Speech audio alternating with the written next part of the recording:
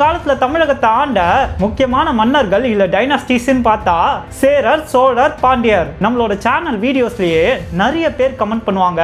ஆனா சோழர்களை பத்தி யூடியூப்ல எக்கச்சக்க வீடியோஸ் இருக்கு. பாண்டியர்களை பத்தி கூட ஓரளவுக்கு வீடியோஸ் இருக்கு. ஆனா சேரர்களை பத்தி வீடியோஸே இல்லையேனா ரொம்ப கம்மியான அளவு இருக்கேனா அதனால சேரரை பத்தி ஒரு சீரிஸ் பண்ணுங்கன்னு அடிக்கடி கமெண்ட் பண்ணுவாங்க.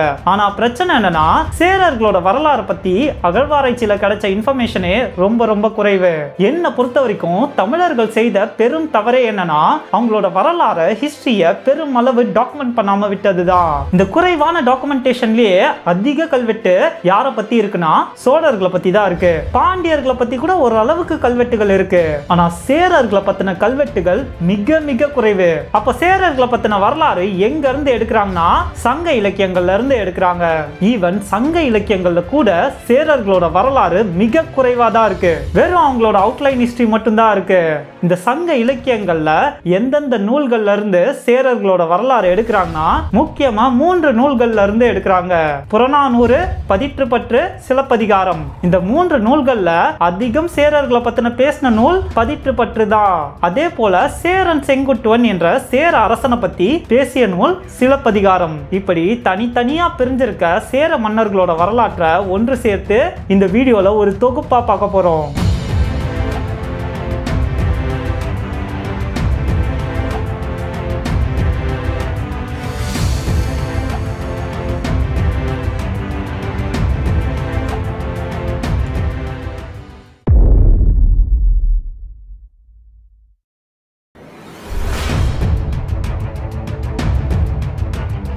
இந்த வீடியோவில் நான் சொல்ல போகிற மன்னர்களோட ஆட்சி காலம் எல்லாமே இதுதான் கன்ஃபார்மாக சொல்ல முடியாது. அதற்கான டைரக்ட் எவிடன்ஸ் எதுவுமே கிடையாது.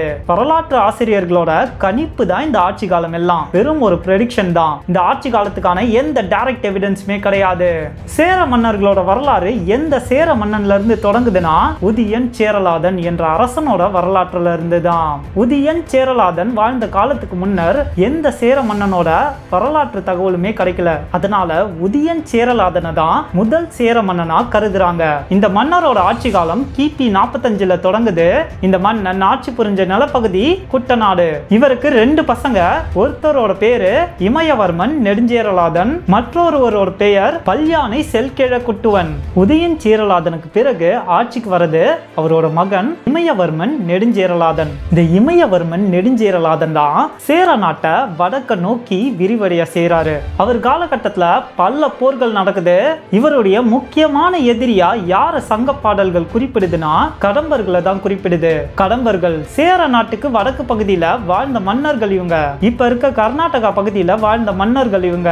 இமயவர்மன் ஆட்சி காலத்துல சேரர்களுக்கும் கடம்பர்களுக்கும் பிரச்சனை போயிட்டே தான் இருக்கு. பிரச்சனை முடியிற மாதிரியே தெரியல. இந்த போர்கள்லயே இமயவர்மனோட ஆட்சி காலம் கிபி எழுபத்தொன்னோட முடியுது. இமயவர்மனோட ஆட்சி காலம் எப்படி முடிவடையுதுன்னா இமயவர்மனோட கடைசி காலகட்டத்துல சேரர்களுக்கும் சோழர்களுக்கும் ஒரு பெரும் போர் நடக்குது. அந்த போர்ல இமயவர்மன் நெடுஞ்சேரலாதன் இறந்துடுறாரு. அதற்கு பிறகு அவரோட தம்பியான பல்யானை செல்கேழ் குட்டுவன் ஆட்சிக்கு வராரு. பல்யானை செல்கேழ் குட்டுவன் காலகட்டத்துல தான் முதல் முதல்ல சேரர்கள் கொங்கு நாட்டை ஆக்கிரமிக்க ஆரம்பிக்கிறாங்க. அது மட்டும் இல்லாம ஊம்பர் காட்டையும் சேரர்கள் அவங்களோட ஆட்சிக்குள்ள கொண்டு வராங்க. ஊம்பர் காட்டை ஆக்கிரமிக்கிறது ஒன்றும் சாதாரண விஷயம் இல்லைங்க. கிட்டத்தட்ட ஐம்பது சிற்றரசர்கள் ஊம்பர் காட்டை ஆட்சி புரிஞ்சு வந்தாங்க. இந்த ஐம்பது சிற்றரசர்களையும் சேர நாட்டோட கண்ட்ரோல்குள்ள கொண்டு வராரு. இவர் கிட்டத்தட்ட இருபத்தஞ்சு வருஷம் சேர நாட்டை ஆட்சி புரிஞ்சு வந்ததா சொல்றாங்க. அதற்கு பிறகு இவர் துறவரம் போனதாகவும் சொல்றாங்க. இவருக்கு பிறகு ஆட்சி புரிஞ்ச மன்னர் கலங்காய் கண்ணி நார்முடி சேரல் அவருக்கும் பிறகு சேரன் செங்குட்டுவன் ஆட்சிக்கு வராரு. சேரன் செங்குட்டுவன் ஆட்சி பொறுப்பை ஏற்கிறதுக்கு முன்னாடி சேர நாட்டோட அரசியல் சூழல் எப்படி இருந்ததுன்னா சேர நாடு இதுவரைக்கும் அவங்க கைப்பற்றி வந்த நாடுகள் எல்லாம் கொஞ்சம் கொஞ்சமா இழந்துட்டே வந்தாங்க. இவர் வந்துதான் சேர நாட்டுக்கு இருக்க பிரச்சனை எல்லாத்தையும் சால்வ் பண்றாரு. முதல்ல சோழ நாட்டை தான் டார்கெட் பண்றாரு. அதற்கான காரணம் சோழ நாட்டை தான் ஈஸியா கன்வின்ஸ் பண்ண முடியும். ஏன்னா சேரன் செங்குட்டனோட தாயார் மணக்கிள்ளி ஒரு சோழ நாட்டு பெண் தான். அதனால சோழ நாட்டுல இருக்க தன்னோட உறவினரை சோழ நாட்டோட ஆட்சி பொறுப்புல ஏத்தி வைக்கிறாரு. இதன் மூலமா சோழ நாட்டுக்கும் சேர நாட்டுக்கும் உள்ள பிரச்சனை தீருது. நம்ம ஏற்கனவே பார்த்தோம்ல கடம்பர்களுக்கும் சேரர்களுக்கும் ஒத்தே வராதுன்ட்டு. கடம்பர்களுக்கு சேரர்களோட வளர்ச்சி சுத்தமா பிடிக்கல. ஆனா சேரர்களை கடம்பர்களால தனியா அடிக்க முடியாது. அதனால யவன நாட்டோட கூட்டு சேர்றாங்க. யவனர்கள் கிரேக்கர்களையும் ரோமானியர்களையும் தான் பண்டைய தமிழகத்துல யவனர்கள்னு அழைச்சாங்க.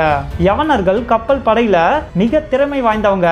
அவங்களோட கப்பல் படையெல்லாம் திரட்டிட்டு சேர நாட்டோட கடற்கரைக்கு வராங்க. யவனர்களுக்கும் சேரர்களுக்கும் ஒரு பெரிய போர் நடக்குது. இந்த போரோட முடிவுல சேரர்கள் தான் ஜெயிக்கிறாங்க. இந்த போருக்கு பிறகு கொங்கு நாட்டுல மவுர் மன்னை என்ற அரசன் சேர நாட்டுக்கு ரொம்ப குடைச்சல் கொடுத்துட்டு இருந்தான். அதனால அந்த அரசனையும் காலி பண்றாரு. இப்போ சேரர்களோட பகுதி கொல்லிமலை வரைக்கும் நீண்டிடுச்சு. சேரன் செங்குட்டுவன் காலத்துல வெறும் போர் மட்டும் புரியலங்க கடல் வணிகமும் செஞ்சாங்க. இவங்க முத்துக்களை எக்ஸ்போர்ட் பண்ணாங்க. அதே சமயத்துல யவனர்களோட தங்கத்தை இம்போர்ட் பண்ணாங்க.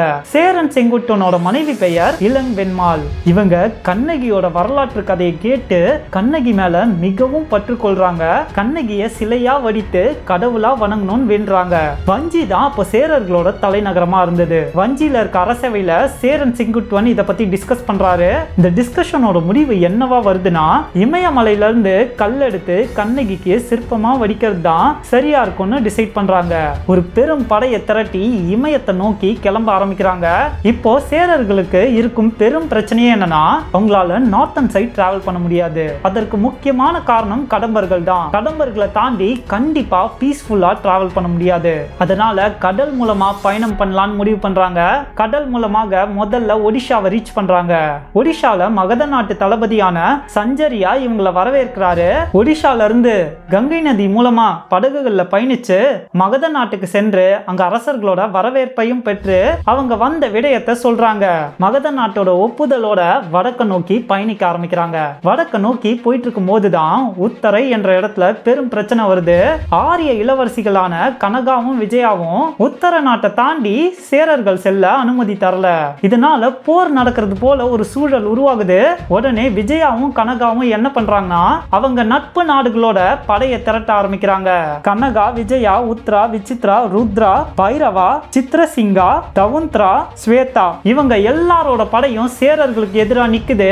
சேரர்களுக்கும் இவங்களுக்கும் ஒரு பெரிய போர் நடக்குது. ஒரு வழியா போரின் முடிவுல சேரன் செங்குட்டுவன் ஜெயிச்சிடுறாரு. அவங்க நினைச்ச மாதிரியே இமயத்துல இருந்து கற்களை எடுத்துட்டு வந்து கண்ணகிக்கு கோவில கட்டுறாங்க. சேரர்களோட வரலாற்றிலேயே ஒரு மிகப்பெரிய பிரச்சனை என்னன்னா இந்த அரசனுக்கு பிறகு இந்த அரசன் தான் ஆண்டான்னு எக்ஸாக்டா சொல்ல முடியாது. இவங்க ரெண்டு பேருக்கும் நடுவுல கூட வேற ஒரு சேர அரசன் ஆண்டு இருக்கலாம். சரி சேரன் செங்குட்டுவனுக்கு பிறகு ஆட்சி புரிஞ்ச சேர அரசன் யாருன்னா ஆடு கோட்பாட்டு சேரலாதன். அவருக்கு பிறகு அந்து வஞ்சேரல் இரும்பொறை. இந்த அரசன் முழு சேர நாட்டையும் ஆட்சி புரியல. அதற்கு பதிலா சேர நாட்டோட ஒரு பகுதியான பொறை பொறையூரை தான் ஆட்சி புரிஞ்சாரு. சேர அரசர்கள்லயே இவர் உட்பிரிவு மாதிரி வச்சுக்கோங்களேன். இவர் மரபு வழி வந்த அரசர்களோட பெயர்கள் எல்லாமே இரும்பொறைன்னு தான் முடியும். இவருக்கு பிறகு ஆட்சி புரிஞ்ச சேர அரசன் யாருன்னா யானை கட்சை மாந்தருஞ்சேரல் இரும்பொறை. இவரோட பேர்ல யானை கட்சைன்றது ஒரு பட்ட பேருங்க. இந்த பேர் வருவதற்கு பின்னாடி ஒரு சுவாரஸ்யமான கதை இருக்கு. பாண்டிய நெடுஞ்செழியன் என்ன பண்றாருன்னா இந்த மாந்தருஞ்சேரலை பிடிச்சு அவரோட சிறையில அடைச்சிடுறாரு. இந்த மாந்தருஞ்சேரல் யானை யானை எப்படி அதற்கு முன்னாடி இருக்க தடைகள் எல்லாம் உடைச்சிட்டு வருமோ அதே போல இந்த மாந்தர் சேரல் பாண்டிய மன்னனோட சிறையை உடைச்சு சேர நாட்டுக்கு திரும்பி வந்து ஆட்சி புரிகிறாரு. அதனால தான் இவருக்கு யானை கட்சே என்ற பட்டப்பேரை சூட்டுறாங்க.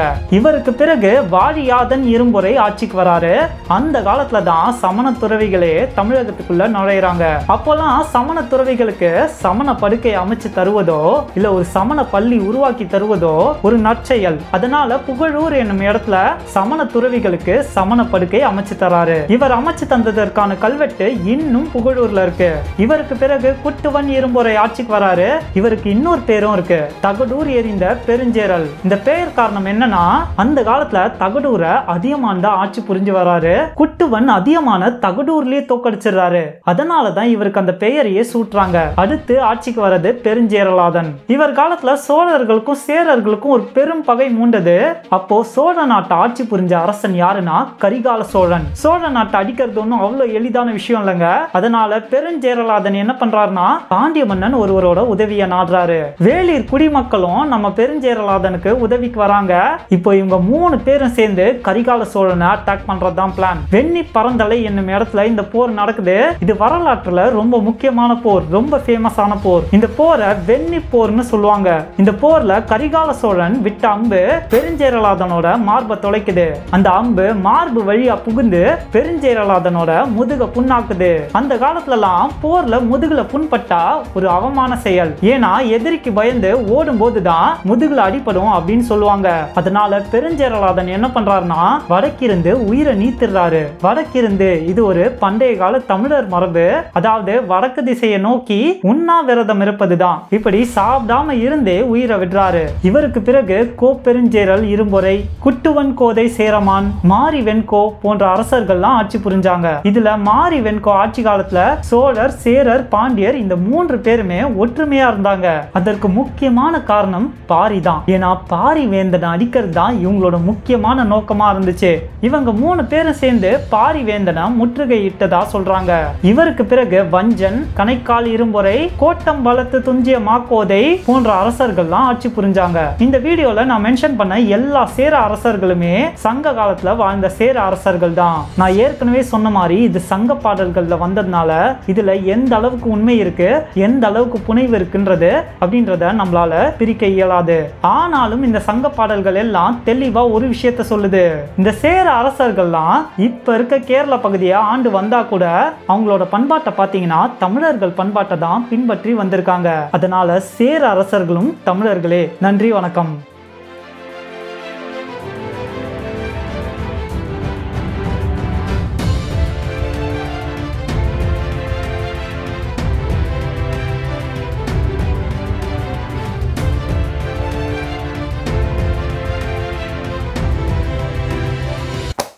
ஒரு நிமிஷம் போயிடாதீங்க. நான் ஏற்கனவே சொன்ன மாதிரி சேர அரசர்களோட வரலாற்று தகவல்கள் நமக்கு நிறைய கிடைக்கவே இல்லை. அதனால இதை ஒரு பெரிய சீரீஸாகவே நம்மளால பண்ண முடியாது.